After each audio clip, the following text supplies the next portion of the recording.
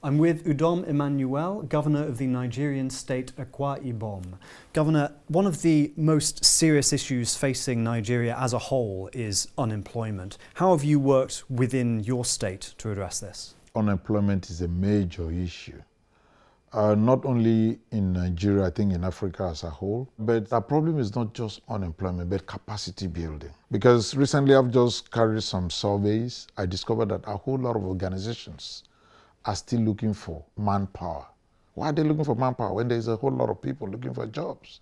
We are trying as government to lay a lot of emphasis on this capacity building, training the people, what I call the soft infrastructure, which is the knowledge base. We have set up a skill development center in a place quite close to the capital. And I also look at what you can do with your God given talent, your hands, without necessarily being within the four walls of the university, could mean a whole lot for the economy. We should also train people entrepreneurship, entrepreneurial development should take a center stage where no matter what you do, you don't just come out of school and then the first thing is where do I apply to? The first thing should be what do I do? I mean to earn a living.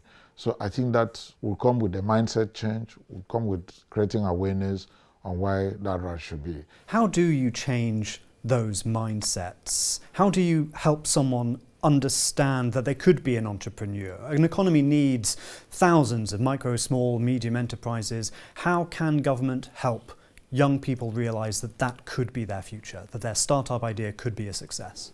Entrepreneurial skill set is needed at every course content, either in secondary in tertiary education in Nigeria. We need to build that deliberately. So irrespective of your field of study, that should also be built in. How can you come out and be an entrepreneur in your own field? How can you create wealth? How can you create something? I think that will really, really help. And that will call for a total review of all the education curricula to actually make sure we capture this. And we also move in line with the current realities of the global space.